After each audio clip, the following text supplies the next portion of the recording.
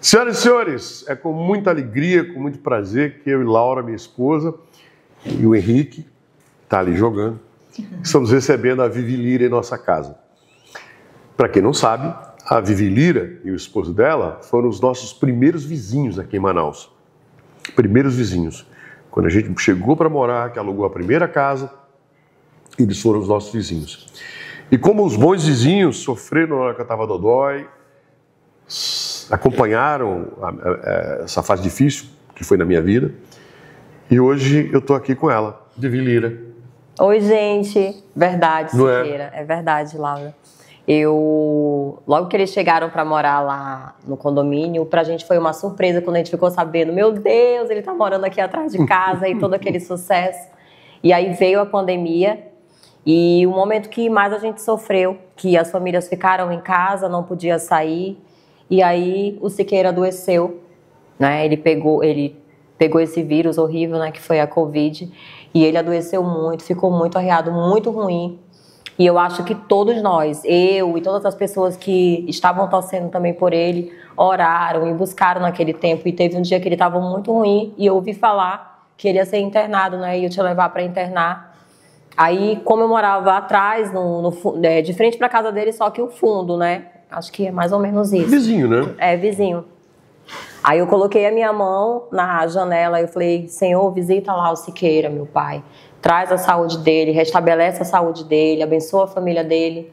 E graças a Deus, ele fez a fisioterapia, foi melhorando, o tempo foi passando. Eu creio que todos nós juntos, buscando, orando por você, deu tudo certo. E tem uma cena que eu, eu não, até não, não, lembrava mais. Aí eu estava fazendo a fisioterapia na rua, né? Isso. O médico lá do condomínio. Aí vai, uma cadeira a outra, 50 metros, mais 100 metros. Tal. Aí a Vivi passou com o João, uhum, aí parou. Disse, foi, Vamos parar para falar com ele?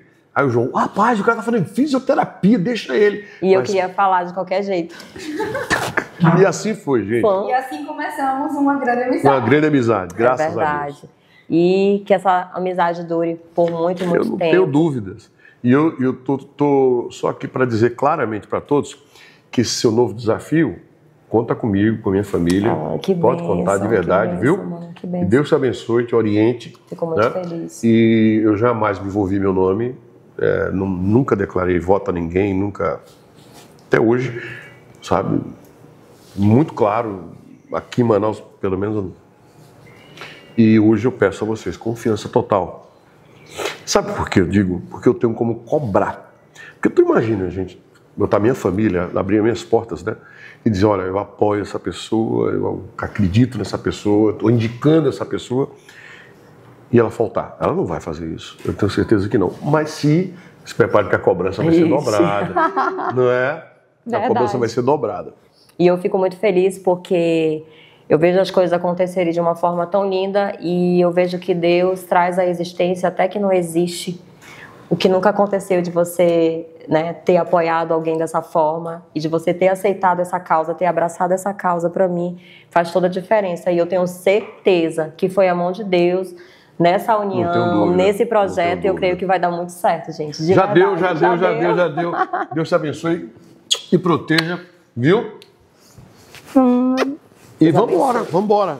Vivi Lira, senhoras e senhores, essa, amiga, essa minha amiguinha que eu peço total confiança, total dedicação a partir de agora.